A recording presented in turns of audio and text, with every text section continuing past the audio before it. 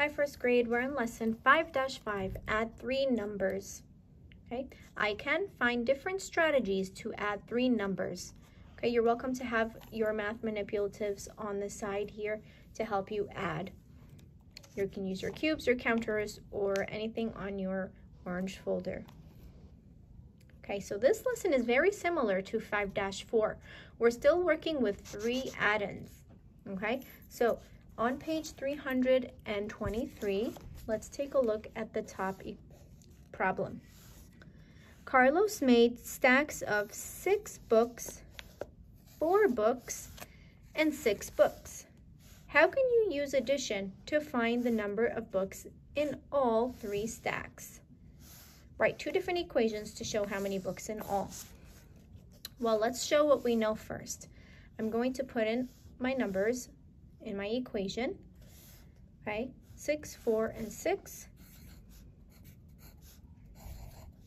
Right, and remember I'm going to add two numbers first, the two easiest numbers for me that I would know the answer to or that would be the easiest for me to solve.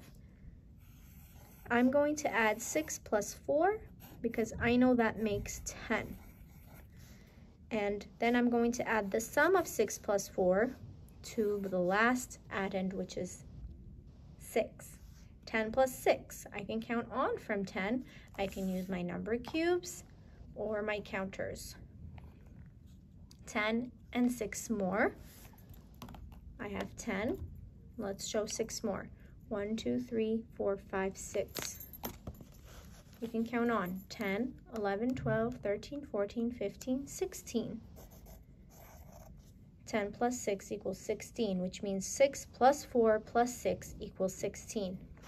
Now another way I can do this is change the order of the addends. Instead of 6 first, I'm going to put 4 plus 6 plus 6. Remember, you want to have the same addends, just in different order. The order does not change the answer. The answer is still going to be 16.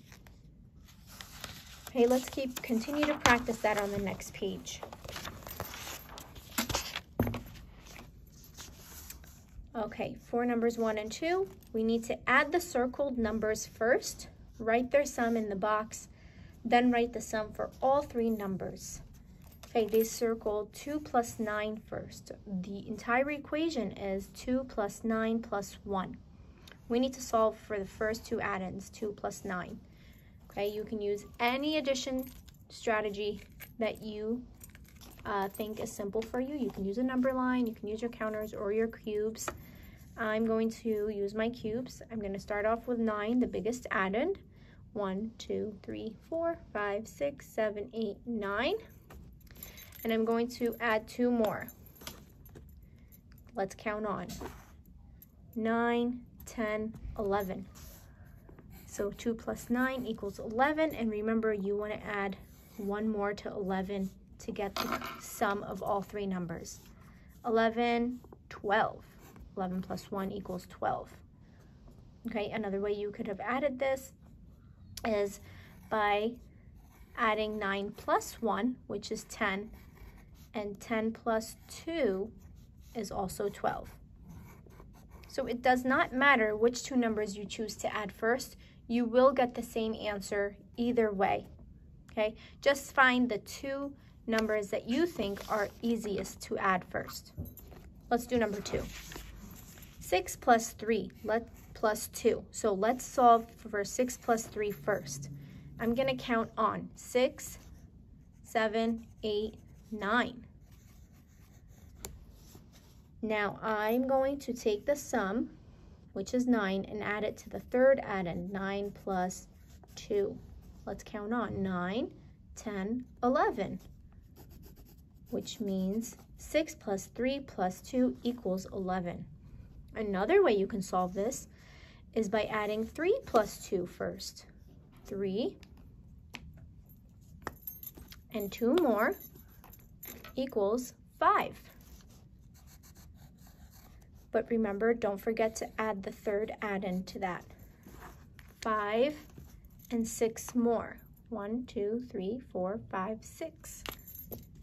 What is 6 plus 5? Let's count on. 6, 7, 8, 9, 10, 11. So the sum does not change. It doesn't matter which order you add the addends in. You will still get the same sum. Okay, they want you here to find two numbers to add first and then write their sum in the box and add the last addend to it. So let's do number three together. 6 plus 6 plus 1. Now I know 6 plus 6 because this is a doubles fact. 6 plus 6 equals 12. This is easy for me to solve. And 12 plus 1 more is 13. Okay, I'd like you to do the same thing for the rest of the page. Please circle the two numbers that you're going to add first, write the sum of those two numbers in the box, and don't forget to add the third addend to the sum. Okay, share your work when you're done with page 325.